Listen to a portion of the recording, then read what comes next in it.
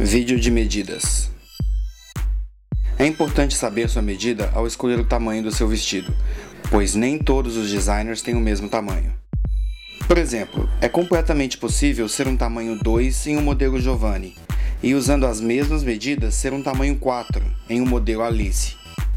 Tirar suas medidas é muito simples e pode ser feito em três passos. Primeiro passo: o busto. Meça ao redor da parte maior do busto usando uma fita métrica de pano. O ideal é que quando você tirar suas medidas, esteja usando as peças íntimas que estará usando com o vestido que deseja. Segundo passo, a cintura. Sua cintura real é aproximadamente uma polegada do seu umbigo.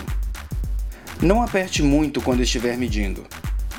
Você também poderá colocar um dedo embaixo da fita métrica para ter certeza que você poderá mover-se confortavelmente quando estiver usando o vestido. Terceiro passo: os quadris.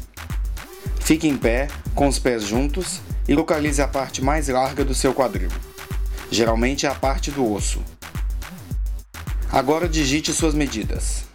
Os designers podem usar regras diferentes de medidas para determinar o tamanho de um vestido. Por isso, nossa tabela de tamanho pode mudar dependendo do designer. Assim que você identificar o designer ou a marca do vestido que deseja, clique em qual o meu tamanho. A tabela de medidas será exibida. Digite suas medidas. Busto 34. Cintura 26. Observe que a tabela de medidas do designer automaticamente selecionará 26,5. Na dúvida, sempre escolha um tamanho maior. Quadril 34. Como você pode ver, a tabela de tamanhos vai destacar o tamanho do vestido que você deverá escolher. Esperamos ter tirado todas as suas dúvidas sobre medidas.